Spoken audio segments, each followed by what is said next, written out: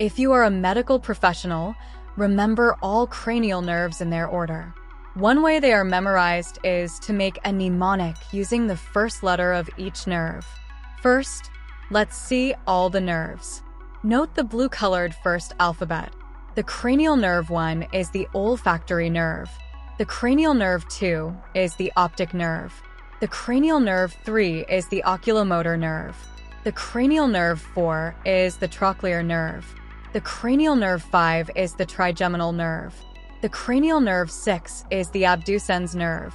The cranial nerve 7 is the facial nerve. The cranial nerve 8 is the auditory or vestibulocochlear nerve. The cranial nerve 9 is the glossopharyngeal nerve.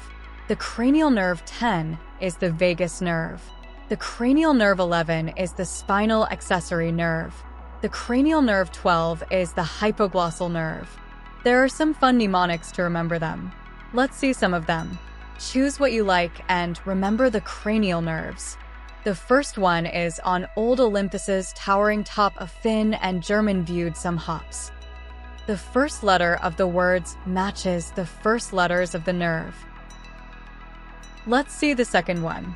Ooh, ooh, ooh. To touch and feel very good velvet. Such heaven. The last one, previously the trochlear nerve, was called the pathetic nerve.